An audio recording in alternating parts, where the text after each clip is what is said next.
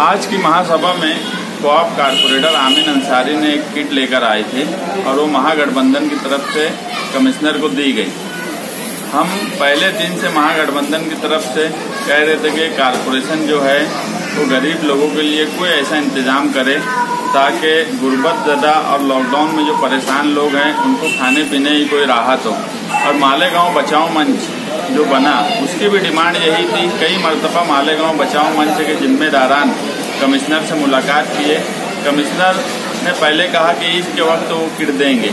उन्होंने हमसे सिंपल के तौर पर मालेगांव बचाओ मंच से किट मांगी। मालेगांव बचाओ मंच ने चार किट उनको सिंपल के तौर पे दी और मुफ्ती इस्माइल कासमी साहब खुद उनके पास गए। उन्होंने भी उनसे कहा, कमिश्नर ने बोला कि यार हम किट देंगे।